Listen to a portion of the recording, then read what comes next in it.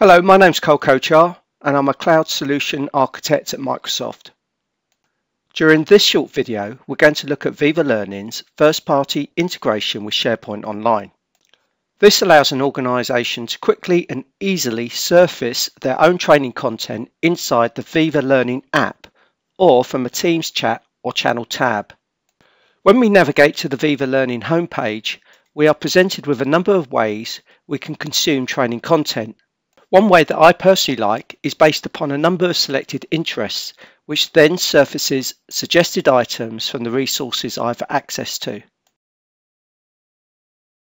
I can also view my learning by provider, which includes the third-party content my company subscribes to, and also any SharePoint collateral that I've been given permission to access. In my example, all the SharePoint content is listed in the Contoso row, as you can see, the SharePoint training has an associated thumbnail and metadata that provides information such as the course title and duration.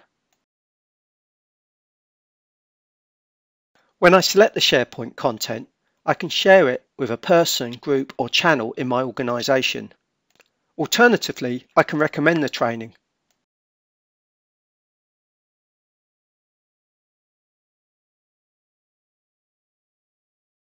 I can also bookmark it and I can easily add it to my Outlook calendar.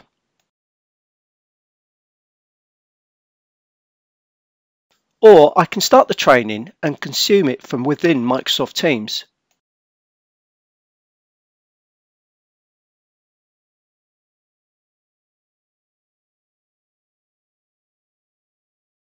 One of the recent integrations that's been added is the ability to link a URL within SharePoint. And in this example, when I select the Viva Goals card, I'm taken into YouTube to view the video.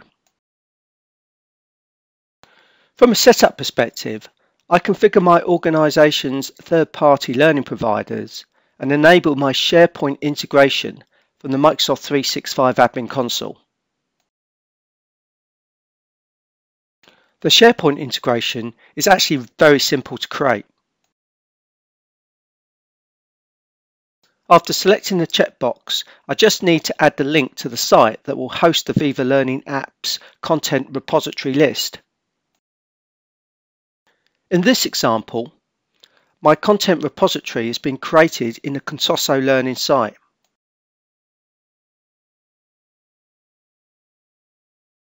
As we can see, I've enabled two catalogues that store the training content I want to publish to Viva Learning.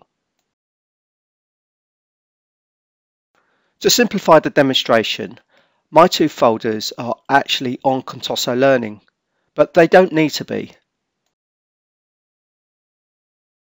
When I open the course catalogue, as well as files, you can see the additional columns of metadata. One of these includes the links to the associated thumbnail pictures used in the Viva Learning app.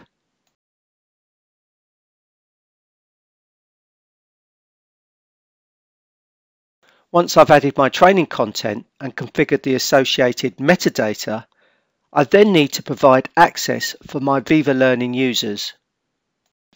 This is simply done by configuring the access permissions associated with the content repositories in SharePoint.